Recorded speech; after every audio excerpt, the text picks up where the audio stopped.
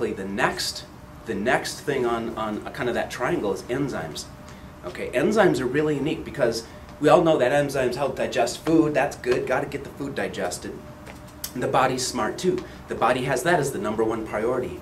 But little do we know that the enzymes that are in our body to begin with, these are called metabolic enzymes. And they're not meant to just digest food, they're actually meant to run our organs for many, many, many years. Longevity.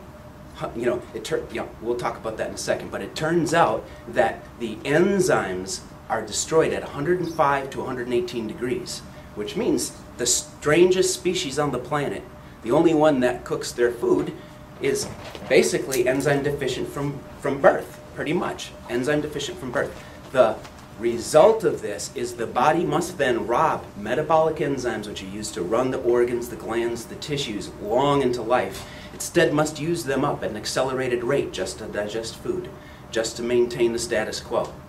Okay, so obviously we have two choices.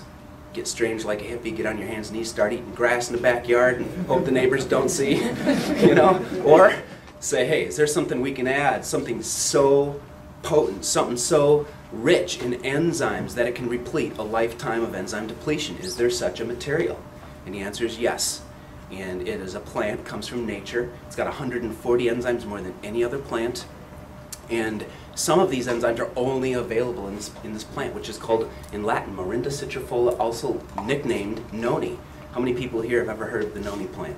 Okay, so it's been used traditionally for thousands of years, but the thing is, those traditional benefits, although touted as being present in almost all of the material that's been served up so far as noni, at least if, if you're not living in Tahiti or Hawaii, it's been pasteurized. Pasteurization destroys the vast majority of those enzymes. Well, come on now. If we're going to be spending our money on it, why don't we get the full bang? That's my, my, my, kind of view of it. So um, what we did is we basically brought you the full bang. We found a cold process method that brings you 100% enzyme retention and puts it with certain warming spices that have been shown to dilate the blood vessels, oxygenate the brain, get the enzymes in deep so that your organs can take maximum utilization of them and begin to refurbish those organs and endocrine glands and tissues.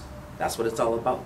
So our, our products, like basically Elements for Life, you know, I've been introduced to somebody who's, you know, the visionary founder of this company, but really the company arose in the wake of a commitment that when I found some one piece of this equation, which I haven't talked about yet, and it was the connection between rare platinum group elements and our experience of life, but when I got a hold of that, I realized that every single human being, man, woman, and child, deserves to have access to these materials and that an abundant body, an abundant life will always have access to these, these things.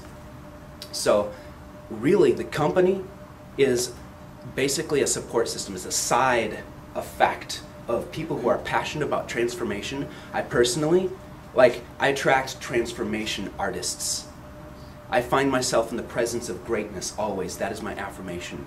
And to me, every single person here knows hundreds of people, if not thousands of people, directly or indirectly, who are hungering and thirsting for transformation, mentally, emotionally, physically, either from a health challenge to baseline point of view, or from baseline to I want to take it to the next level, right? I want to take it to the next level. We have the fastest, some of the fastest athletes. They're on our team. Some of the most amazing people from around the world are realizing that, you know what? these are the principles. You put these into place, and one, you don't have to tell yourself no, but coffee, cigarettes, tea, nicotine, all these things begin to dissipate. Not that we have to judge them, but what is that worth? A couple hundred dollars of superfoods every month, and suddenly you're saving five, six, seven, eight hundred dollars in things that really didn't serve us at the deepest, most core level. Speaking of deepest, most core, I want to give thanks to um, the Center for Spiritual Development and really grok that word center. You know, literally the center for development and how often we seem to be a little bit divided. Like maybe I want to be healthy, but I keep reaching for that Ben and Jerry's ice cream. Sorry, Ben and Jerry's, you're my favorite too. But anyway, um, you know, you reach for it. There's some bit of conflict, and when we get to the final center, we realize that there's no conflict, there's no dichotomy, there's no confusion. There is a single direction, and that's how motivation happens. Not by resisting all the other things that are pulling us, but becoming so in love with what is drawing us. And so we give people a community, a platform to begin to elicit their highest potential. Like literally, yeah, sure you can you can you can get your superfoods for free. Sure you can you know get them for wholesale through this company. Sure, we we have people earning you know executive level incomes, but the thing that can never be put a price tag on is the relationships.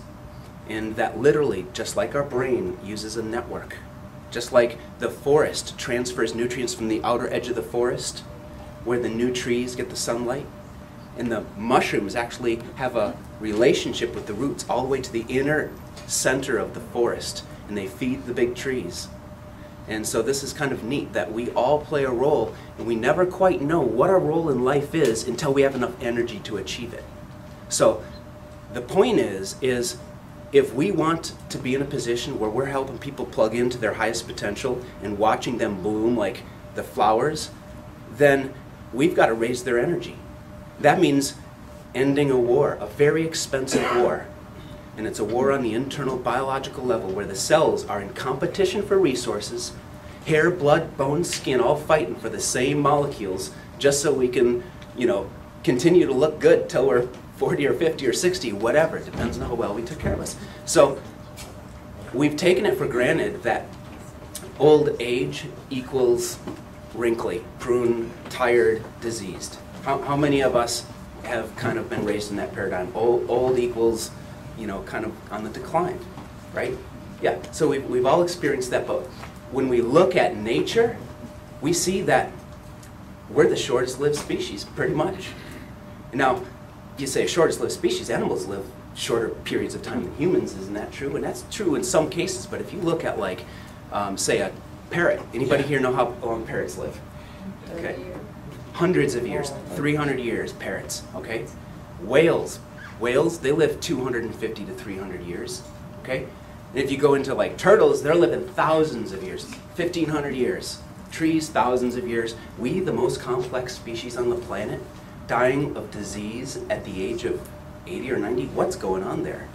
You know, that's, that's interesting to me. And so when we look at further studies that show even the shorter lived creatures, like say a horse, they live 25 to 30 years. But what does that represent? That's actually about 10 times birth to physical maturity.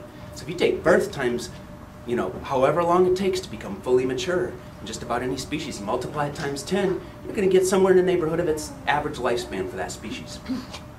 So the point is human beings being fully developed, wisdom, teeth, bone structure, all that somewhere around you know the age of 24. Even if you say you're fully mature when you get your driver's license at the age of 18, we should still be living to 180.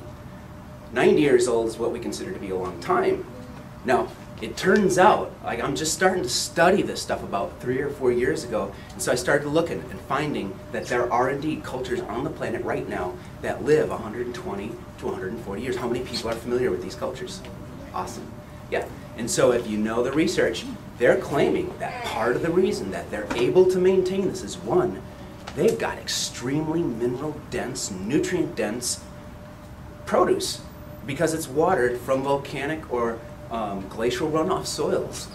And the, these are high in what we call platinum group elements. Remember we talked about the principles of life. We talked about alkalinity, enzymes, and rare platinum group elements. What are these things and what do they do?